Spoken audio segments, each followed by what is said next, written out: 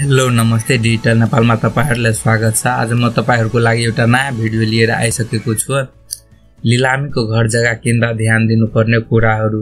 यो भिडियोमा म तपाईँलाई भन्नेछु लिलामी भनेको के हो र लिलामीको घर जग्गाहरू किन्दाखेरि के के कुरामा विशेष ध्यान पुर्याउनुपर्छ त्यो सबै म तपाईँलाई यो भिडियोमा भन्नेछु। अब भिडियो सुरु गर्नुभन्दा अगाडि यदि तपाईँले यो च्यानललाई अहिलेसम्म सब्सक्राइब गर्नुभएको छैन भने तपाईँ यो च्यानललाई सब्सक्राइब गर्नुहोला। यस्तै अरू भिडियोहरू हेर्नको लागि। अब लिलामी भनेको के हो त? लिलामी भनेको यदि कसैले कुनै ब्याङ्कहरूबाट लोन लिएछ र त्यसले टाइमली त्यसको ब्याजहरू तिर्न सकेन भने त्यस्तो जग्गाहरूलाई ब्याङ्कले त्यसले धितो राखेको जग्गालाई ब्याङ्कले लिलाम गर्छ। त्यस्तो जग्गाहरू ब्याङ्कले मार्केटको रेटभन्दा सस्तो मूल्यमा नै लिलाम गरिदिन्छ यदि तपाईँले त्यस्तो जग्गाहरू किन्नुभयो भने मार्केटभन्दा सस्तोमा तपाईँ पाउन सक्नुहुन्छ। सस्तोमा पाए पनि यसले झन्झटिलो हुन्छ र केही कुरामा तपाईँले विशेष ध्यान पुर्याउनु पर्छ आज म तपाईँलाई त्यही भन्ने गइरहेको छु। तपाईँ के के कुरामा ध्यान पुर्याउनु पर्छ यदि तपाईँले ब्याङ्कले लिलाम गरेको जग्गाहरू किन्न चाहनुहुन्छ भने। एक नम्बरमा रहेको छ औपचारिक कानुन प्रक्रिया पुरा गरेर लिलाम भएको हो कि होइन त्यो तपाईँ विशेष ध्यान दिनुहोला। कुनै पनि जग्गा ब्याङ्कले लिलाम गर्नुभन्दा अगाडि जसको जग्गा छ त्यसलाई जानकारी गराउनु पर्छ र पत्रि राष्ट्रिय स्तरको पत्रिकामा पैँतिस दिन अगाडि त्यसको सूचना निकाल्नुपर्छ। र त्यो जग्गा धनी जो हुन्छ त्यसको पर्मानेन्ट एड्रेसमा पनि र टेम्पोररी एड्रेसमा पनि त्यसको जानकारी दिनुपर्छ। यदि त्यस्तो प्रक्रियाहरू पुरा गरेको छैन भने त्यस्तो जग्गाहरूले त्यस्तो जग्गाहरूको लिलाम बद्दर हुनसक्छ त्यसैले तपाईँ त्यो थाहा थाहा पाउनु होला त्यो प्रक्रिया पुरा गरेको छ कि छैन भनेर। त्यस्तै गरी अर्को रहेको छ ऋणीको हक पुग्ने सम्पत्ति हो कि होइन? यदि कुनै जग्गा त्यो लिलाम गरिरहेको छ भने त्यो जसले रि लोन लिएछ त्यसको एक्लै जग्गा हो कि त्यसमा अरू पनि कसैको हक लाग्छ? यदि त्यसमा त्यसको परिवारको अरू कसैको हक लाग्छ भने त्यस्तो जग्गाहरूको लिलाम बदर हुन्छ। त्यसैले तपाईँ त्यो जानकारी लिनुहोला। त्यसको एक्लै सम्पत्ति हो वा अरू कसैको हक लाग्छ भने त्यो लोन लिने बेलामा त्यसको पनि त्यो सहमतिमा लोन लिएछ भने त्यस्तो जग्गाहरू किन्दा हुन्छ। तर त्यसले अरूको सहमति नलिएर लोन लिएछ र अरूको पनि हक लाग्छ भने त्यसले आफ्नो हक पछि अदालतबाट लिन सक्छ। त्यसैले त्यस्तो झन् झन्झटमा नपर्नु होला त्यो पहिला नै तपाईँ पत्ता लगाउनु होला त्यसमा अरू कसैको हक लाग्छ कि लाग्दैन? लाग्छ भने त्यसको सहमतिमा लोन लिएको छ कि छैन भनेर त्यो पत्ता लगाउनु होला त्यस्तै अर्को रहेको छ अन्य निकायबाट रोका छ कि छैन? कुनै एउटै जग्गा हुन्छ दुई तिनवटा ठाउँबाट रोका गरेको हुन्छ दोहोरो रोका भइसकेको हुन्छ एउटै जग्गाहरू।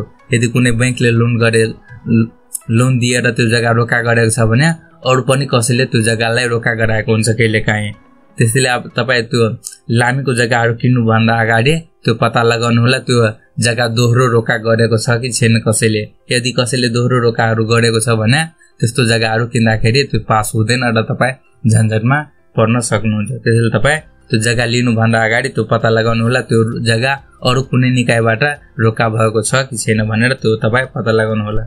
त्यस्तै अर्को चार नम्बरमा रहेको छ लिलामीको कार्यविधि पुरा भएको छ कि छैन? हरेक बैङ्क र माइक्रो फाइनेन्सहरू सबैको आफ्नो एउटा कार्यविधि हुन्छ कुनै पनि जग्गाको लिलाम गर्दाखेरि। त्यो कार्यविधि पुरा गरेको छ कि छैन त्यो बैङ्क र वित्तीय संस्थाले? त्यसको पुरै जानकारी तपाईँ लिनुहोला। यदि त्यसले कार्यविधि पुरा नगरेर नै त्यो हातारमा यदि लिलाम गरेको छ भने त्यस्तो लिलामीहरू बदर हुनसक्छ अदालतबाट। त्यसैले तपाईँ त्यो पत्ता लगाउनु होला त्यो कार्यविधि बैङ्कको जति कार्यविधि हुन्छ त्यो पुरा गरेको छ कि छैन भनेर त्यो तपाईँ पत्ता लगाउनु होला अनि मात्रै त्यो लिलामीको घर जग्गाहरू किन्नु होला त्यस्तै अर्को रहेको छ मूल्यको सम्बन्धमा पञ्चकृत मूल्याङ्कन भएको हो कि होइन?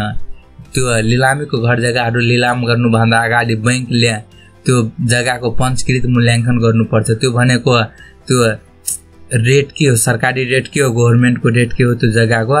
र त्यहाँ चलन चल्तीमा भएको रेट के हो? त्यो त्यहाँको लोकल मान्छेहरूसँग पत्ता लगाएर त्यसको आधारमा पञ्चकृत मूल्याङ्कन गर्नुपर्छ त्यो जग्गा लिलाम गर्नुभन्दा अगाडि।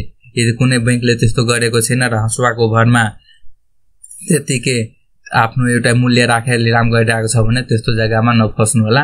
तपाईँ पहिला नै पत्ता लगाउनु होला त्यो जग्गाको पञ्चकृत मूल्याङ्कन गरेको छ कि छैन?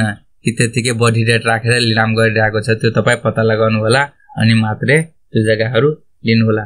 त्यस्तै केही अरू कुराहरू पनि छ बोनसको रूपमा म तपाईँलाई भन्न गइरहेको छु।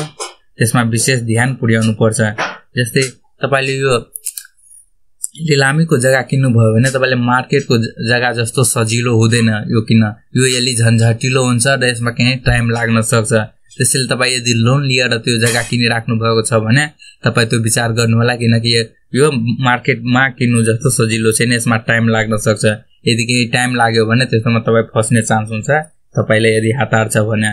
त्यसैले तपाईँ त्यो विचार गर्नु होला यदि तपाईँ लिलामीको जग्गा किन्नुहुन्छ भने यसमा टाइम पनि लाग्छ कहिलेकाहीँ। यसमा रेट स्लो हुन्छ तर टाइम अलि बढी लाग्छ। त्यसैले तपाईँ यसमा ध्यान दिनु होला त्यसै अर्को समस्या रहेको हुन्छ कि यो तपाईँले कसैको घर किन्नुभयो भने त्यहाँको मान्छेहरू छिटो खाली गर्न चाहँदैन आफ्नो घरलाई। त्यस्तोमा त्यो खाली गराउने अलिक गाह्रो हुन्छ। दि मान्छे त्यो छिटो खाली गर्न चाहँदैन आफ्नो घरलाई। अरू तपाईँले ब्याङ्कबाट किन्नुभयो भने कसैको घर? त्यो मान्छे खाली गर्न चाहिरहेको हुँदैन घरलाई। त्यसैले तपाईँ त्यसमा ध्यान पुर्याउनु होला। कस्तो छ त्यसमा मान्छे बसिरहेको छ कि छैन? छैन भने सजिलो हुन्छ। तर कोही बसिरहेको छ भने त्यो घर खाली गर्न त्यति छिटो मान्दैन। तपाईँ यस्तै अरू भिडियोहरू हेर्न चाहनुहुन्छ भने तपाईँको स्क्रिनमा आयो होला। तपाईँ त्यहाँबाट हेर्न सक्नुहुन्छ। र माथिको आई बटनमा क्लिक गरेर पनि तपाईँ यस्तै अरू भिडियोहरू हेर्न सक्नुहुन्छ।